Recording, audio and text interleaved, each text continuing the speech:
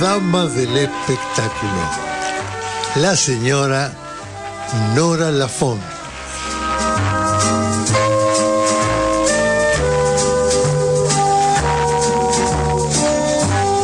Y les quiero contar que en La Plata se presentó Muchachas Bonaerenses. ¿Qué quiere decir esto? Es la historia oculta de las primeras 35 legisladoras de la provincia. O sea, las legisladoras que habían votado el 2 de mayo de 1952 tras la sanción de la ley provincial 5241 que establecía los derechos políticos de las mujeres. Bueno, ustedes saben que también... Donde Juanita Larrauri fue diputada nacional. Claro, por eso. Pero también esto que denuncian acá en este libro, también ocurrió con las legisladoras nacionales, que fueron a parar todas encarceladas al buen pastor, Sí. las legisladoras nuestras. Bueno, y les cuento que en esta presentación estuvo la, estuvo la ministra eh, Cristina Álvarez Rodríguez, estuvo la presidenta del, del Instituto Cultural de la Provincia de Buenos Aires, Florencia Santú, y la historiadora Julia Rosenberg, que estuvo, fue la que hizo el proyecto, lo cual me parece realmente muy importante, porque son cosas que están olvidadas, de las que nadie habla, de, de todo eso se tapó con todo lo que pasó con la revolución fusiladora. Entonces hay que sacar a la luz estas cosas que pasaron nuestras mujeres y que realmente fue, a mí me parece un trabajo re- muy, muy importante y muy revelador. Y que muchos no conocen esa No, historia. no conocen esas porque no se ha contado, se taponó, se, tapó, escondió. se tapó, se quedaron ahí Abajo en un la rincón, alfombra. en un rincón. Bueno, este, les quería contar, este, además, que curiosamente hoy eh, se recuerda que en el 2007 murieron el mismo día Michelangelo Antonioni y, y Ingmar Bergman. Sí, los dos juntos, el mismo dos, día. Qué dos, qué dos Grandes del talentos- cine. talentos increíbles, los dos grandes creadores de, de- de cine. Eh, Antonioni, una de- además del Desierto Rojo y todas esas maravillosas películas que nos Mónica regaló, Vitti. hizo Blow Up. O sea, sobre, sobre el cuento Las babas del diablo de, de- De de Borges, Julio de Cortázar. Cortázar. Sí, el de Cortázar. De Cortázar. Bueno, ¿y qué hablar de Bergman? con David Hemmings. que habla No, Bergman de- maravilloso. de- de las cosas que, que- que- las cosas que, que con que Bergman hizo desde persona las babas de, de- de- todo lo El que trabajo con la imagen, no te Sí, olvides, que permitía que los actores se movieran como en el teatro, los Claro. dejaba trasladarse. Sí, sí, sí, sí, Fantástico. Persona, Persona. persona me mató. Me mató. ¿Eh? Me- Persona. me mató. Me mató. Sí, yo creo me rompió que la cabeza. Yo creo que era una, eh, yo creo que fue uno de esos creadores que no hay nada que ni una película fue algo que pasó el séptimo sello. No, To- todo todas las películas de él tuvieron algo que ver. Fanny Alexander, todo, todo, todo. Y yo las veíamos todas en ese cine de la calle Corrientes, llegando a Junín, que está cerrado, desapareció. No, pero no solo ahí, también las veíamos en el Lorca. En el Lorca también. El Lorca y el Luar eran el dos cines que, de la misma, del mismo dueño que daban todas esas películas Todas esas europeas películas que no. Que hacíamos cola en la puerta en la para puerta, entrar. claro. Todo, colas Cola de, de un- inmensas, colas. cola de que daba vuelta a la esquina. ¿eh? todo todos, los, todos los porteños íbamos a ver esas películas, Sí. porque eh, y eso habla de con qué nos nutrimos, ¿no? La cultura que teníamos los La cultura, argentinos. esa cultura, porque además salíamos y no la terminábamos ahí, íbamos al café a discutir sobre Sí. lo que habíamos visto. Y además he- hemos hecho famosos gente que no lo era en su lugar. No, mira, eh, Woody Allen fue uno de los que Woody Allen fue uno, pero además... gran éxito tuvo acá y también por eh, Berman. eh, tam- tampoco Federico. Fellini era, era famoso en Italia. No, era famoso No en lo Italia. comprendían Y- los No lo tanos. entendían. Y aparte, acá, este, también creo que algo de su gran prestigio internacional lo cultivamos nosotros, el de mismo Berman. Sí. Porque las colas que la, la popularidad que tomaron en nuestro país fue única en el mundo. Única en el mundo. Esto no pasaba en sus países de origen y, y con estos creadores tan inmensos, porque teníamos una cultura muy particular. Era un cine demasiado culto el de Sí, Berman también, sí. ¿viste? Pero igual, igual. Pero a- nosotros nos a los argentinos no Nos encantaba, importaba, eh, íbamos a verlo. nos- íbamos a verlo, ¿viste? Íbamos a verlo, lo disfrutábamos, y- y- todo su. Todo El su- cine polaco también, que era maravilloso y no se da más en la Argentina. No, y vos, vos te acordás lo que- Globo Rojo, el Globo Rojo, Sí. hermosa película. Eh. Trenes rigurosamente vigilados. Ah, sí, está- pero fantásticas películas. Yo me acuerdo que sabés dónde se hacían, dónde se hacían este, las privadas de esas películas. Eh, eh, en, en este en eh, en una en un microcine de la iglesia del Salvador Ah, mira. ahí yo vi todas la mayor parte de estas películas polacas las vi ahí increíble no que. Bueno, pero era la época que estaba, ¿cómo se llamaba, monseñor? Este, sí, el, el que era el famoso famoso el, el famoso que, me, que yo me fui a quejar porque a mi nena había un profesor que la maltrataba, porque como sabía mucho no la aprobaba, tenía todas las materias aprobadas menos esa.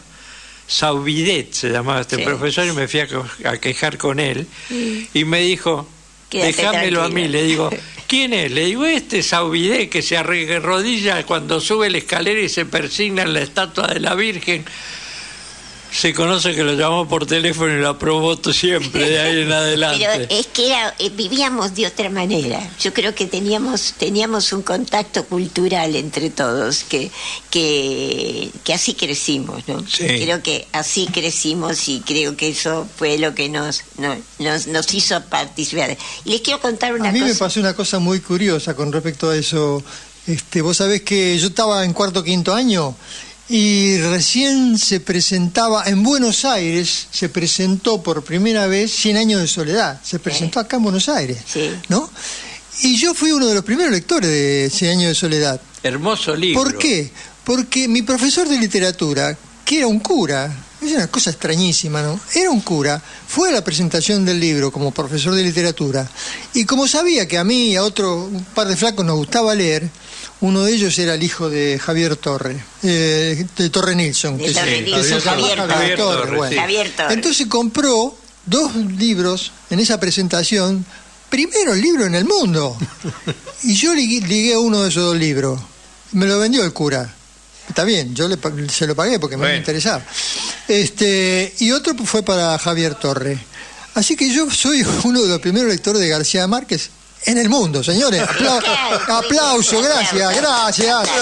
Pero, Bueno. No, pero y muchos no lo querían leer porque era muy grande el libro. Era fantástico. Era una novela 100 años de de soledad. ciencia ficción.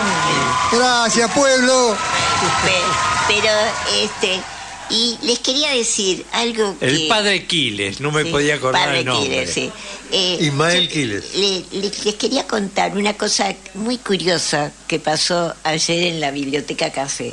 Ayer, como, como siempre, ustedes saben, yo fui porque mi, mi, mi- una de las cosas predilectas que tengo en la biblioteca Café es ir a ver Parlami d'Amore, que siempre lo recomiendo. Y lo, bueno, pero ¿qué pasó? La, la protagonista de todo esto, que es Susana eh, Fernández Laganá, este, se había quedado muda, totalmente muda. Entonces, bueno, gran conmoción que vamos a pasar, que vamos a hacer, estaba vendido toda, la biblioteca no entraba a un lugar para Nadie. nadie. Este, bueno, y entonces eh, em, Rodrigo Charmielo, que, que como sabes es, es Es el, el nieto, de- descendiente nieto del del famoso viejo actor. Gerardo. eh, Gerardo eh, tomó las riendas del asunto. Él siempre es un invitado de, de Susana. Entonces tomó las riendas del asunto. Y entonces dijo, miren, yo voy a hacer, y habló con la gente, le pidió disculpas y todo esto, este, yo voy a hacer este, la primera parte eh, de lo que hacemos siempre, que es la parte italiana, y después yo voy a cantar tango. Bueno, vos no te podés imaginar la gente cómo se enloqueció. Y Sí, sí. cómo se enloqueció con la segunda parte con el tango. Porque además. Rodrigo canta muy bien. Y habrá hecho Y todo lo clásico. Hizo, no, y cantó nada, por ejemplo, y cantó todos los clásicos, clásicos, clásicos más hermosos. Bueno, fue un delirio, un delirio. Nadie se quejó, todo el mundo estuvo feliz. Bueno, eh, tenemos tenemos la Un público culto.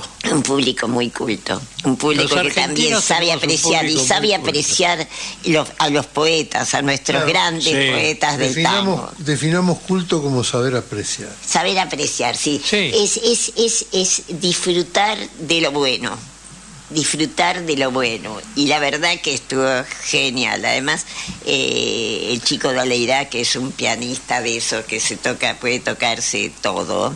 Y además puede eh, acompañar a todo el mundo. Y además tiene esa virtud de que eh, hizo dos Piazzolla que casi se muere. No, y que puede improvisar, que le dijo voy a cantar esto y el otro lo toca, ¿viste? Sin no, partitura. igual se habían, habían estado hablando y todo eso del repertorio que iban a hacer, pero eh, fue una hermosura. Por eso lo quería contar porque no, no suelen pasar estas cosas, ¿viste? Que, Sí, sí, que- sí. que de pronto haya una emergencia y haya que cambiar el programa. Más es que, que, nuestros artistas siempre nos dejan cosas importantes. Más que hoy leídos hoy son se sabios, cumple ¿no? el aniversario. digo, más que leídos, son sabios. Son Sí. sabios, saben, saben, Saben. saben disfrutar. Saben disfrutar y ay, no, no saben los bravos que hubo, ¿viste? Sí, hoy se y además cumple- terminó terminó eh, con este con un, un tema italiano y un tema eh, eh, Precioso. eh, y, un, y un tango viste porque el, el tema italiano era eh, el, el, il mondo viste Sí. Sí, Maimondo, il mondo. Sí, sí, precioso tema. es un precioso tema pero bueno Y hoy este, se fue cumple el aniversario del nacimiento de Juan Verdaguer, que Juan tenía una frase, un axioma particular del que pinta de cuerpo entero todo lo que sucede con los políticos y con los grandes empresarios, que decía siempre, decía, en este ambiente hay que saber hacer algo y yo sé hacer algo. sí Hay que ser audaz y yo soy audaz. Sí.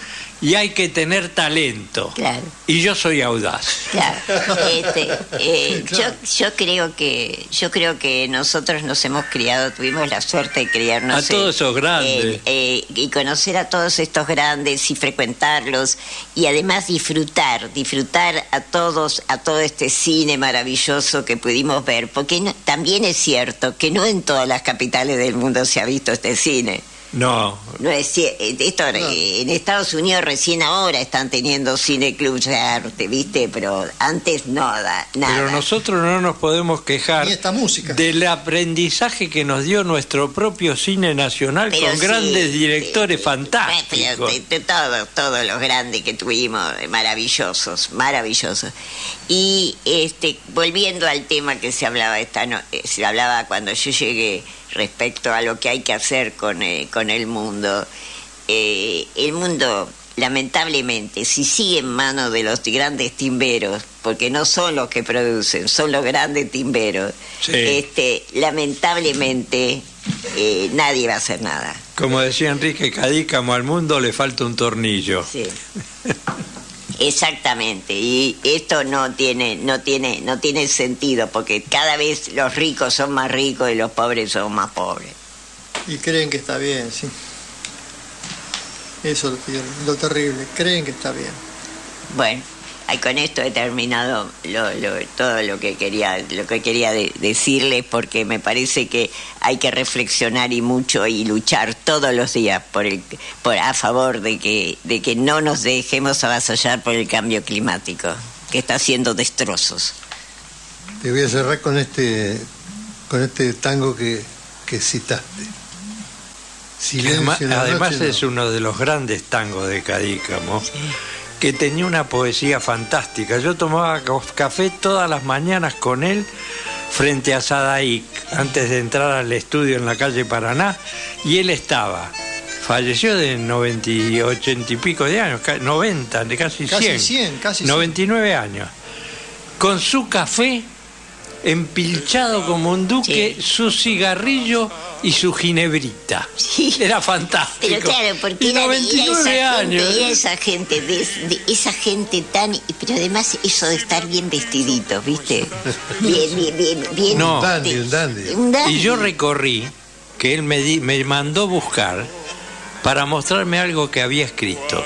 Y lo llevé por todos los canales y todos me dijeron a quién le interesa a Carlos Gardel. Escribió 28 capítulos de los tangos que me grabó Gardel, donde contaba como si él hubiera vivido la Ay, historia de los tangos. qué hermosura. que espero que la hija tenga los libretos, porque, nunca porque nos eso- llevaron pero al eso, apunto. eso habría que hacerlo, esto habría que No, es fantástico, teatralizados todos los tangos y al final cantaba Gardel. Era una maravilla. La mañana del domingo con Martín García. Al amigo todo, al enemigo ni justicia. Porque en esto no se puede tener dualidad.